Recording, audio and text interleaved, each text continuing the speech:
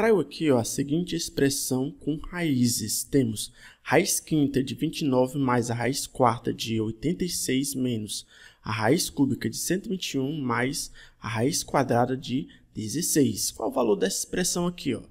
Temos as alternativas aqui. Beleza? Bom, para resolvermos uma expressão desse tipo aqui, perceba que as raízes estão encaixadas dentro uma da outra, onde estão separadas ou por uma soma ou por uma subtração. Nesse caso aqui, ó, o que você vai fazer primeiro? Resolver a raiz mais interna, certo? Aqui, ó, raiz mais interna, essa raiz aqui, ó, da direita para a esquerda. Essa raiz aqui, ó, raiz quadrada de 16, que é bem simples, né? Ó, vamos resolver logo aqui, ó. Raiz quadrada de 16, 4. Tranquilo. Então, temos aqui, ó, eliminada essa raiz, que deu igual a 4, já podemos partir para a próxima raiz, raiz cúbica de 121 mais 4. Vamos colocar aqui, ó, raiz cúbica de 121 mais 4. Raiz cúbica, 121 mais 4, 125. Beleza. E aí, quanto é raiz cúbica de 125? Você sabe de cabeça? Não, não tem problema. O que podemos fazer aqui? Ó? Podemos fatorar o 125. Isso. Aqui, ó, vamos pegar 125. É um número divisível por 5. Então, vamos iniciar aqui por 5. Ó.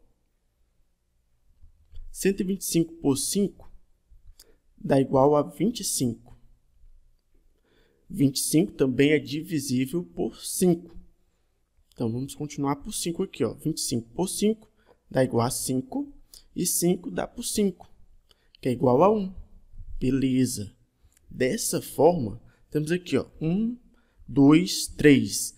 3 fatores 5. Então, podemos escrever 5 elevado ao cubo. Então, podemos escrever raiz cúbica de 125 assim, ó.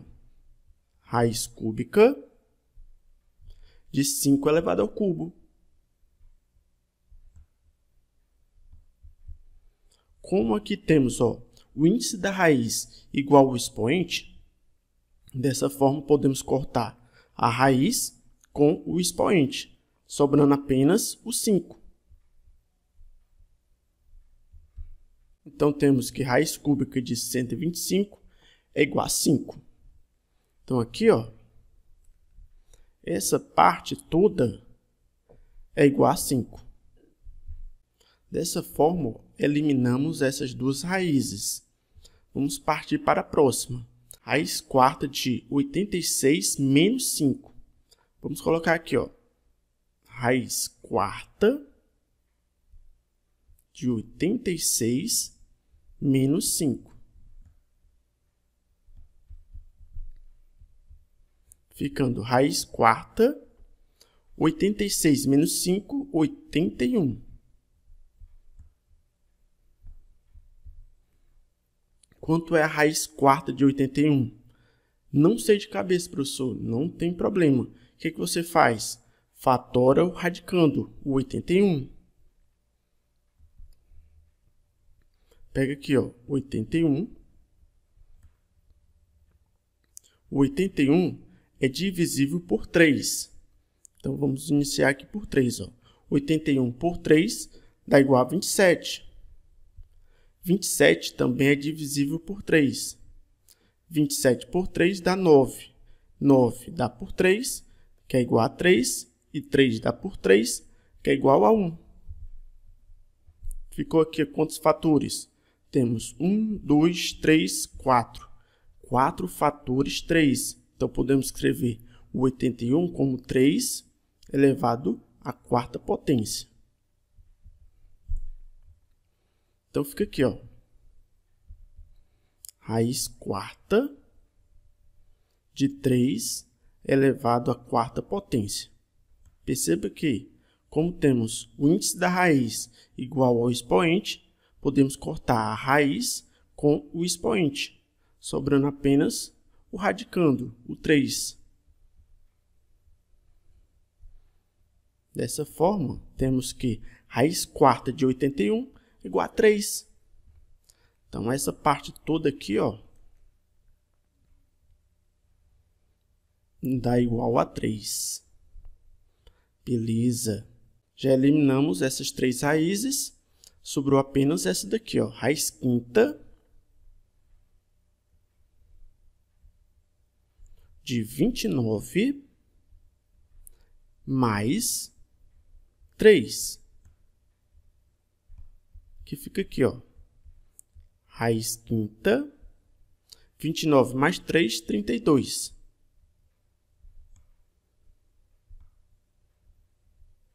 Quanto é a raiz quinta de 32? Professor, não sei. Não tem problema. O que você faz? Fatora o radicando. Vamos lá. Ó. Pega aqui o 32. Vamos fatorar. O 32, como é um número par, ele é divisível por 2. Então, vamos iniciar aqui por 2. Ó. 32 por 2 dá igual a 16. 16 por 2 dá igual a 8. 8 por 2 dá igual a 4. 4 por 2 dá igual a 2. E 2 por 2 dá igual a 1.